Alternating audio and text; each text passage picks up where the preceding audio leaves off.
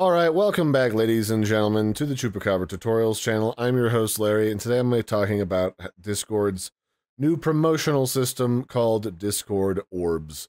What are they? They're basically a currency that Discord's giving you uh, in exchange for participating in their promotional like events and quests.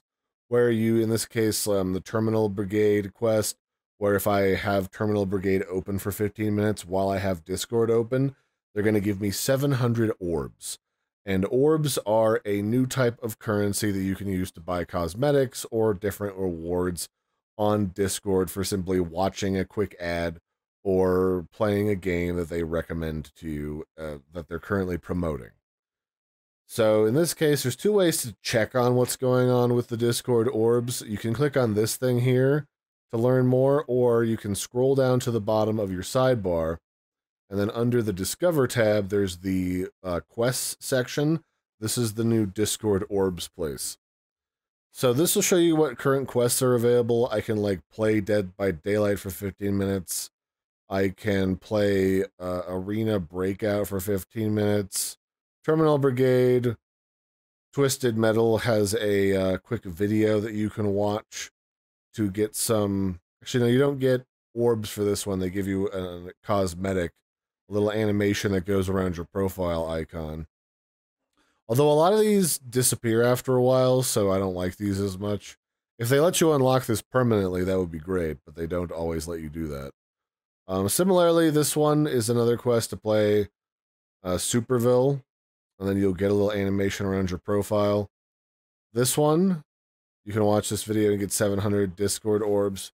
That's basically what it is. Play a game or watch a video about you know, an ad essentially. And then you can go to their orb shop where you can explore orbs exclusives.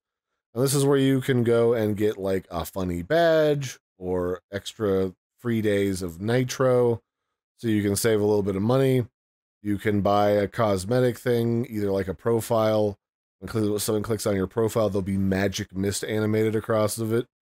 Or the one that I'm currently dinking around with today, the uh, pondering portal effect that goes around your profile. And these ones, when you unlock them, are permanent, and I believe you can use them without Discord Nitro.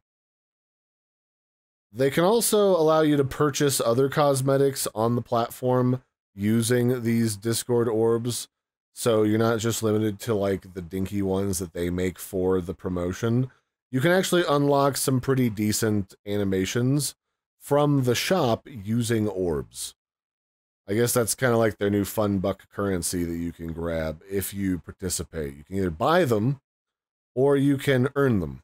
So those are kind of your options. And remember, you can always find this back over here under the Discover section on your sidebar under quests, which is kind of weird that they put that there instead of like in the shop area, but whatever. You can also see like what quests that you've claimed or participated in by like watching a quick ad for Discord.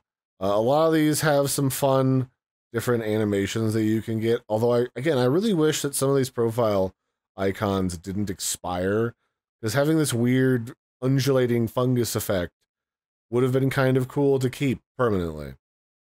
So that'll be it for this one, ladies and gentlemen. This has just been a brief look at Discord orbs. It's just their own currency to encourage you to participate in their advertising, which isn't a terrible way to do it. At least you get something out of it and you can like earn points to buy the stuff that you want.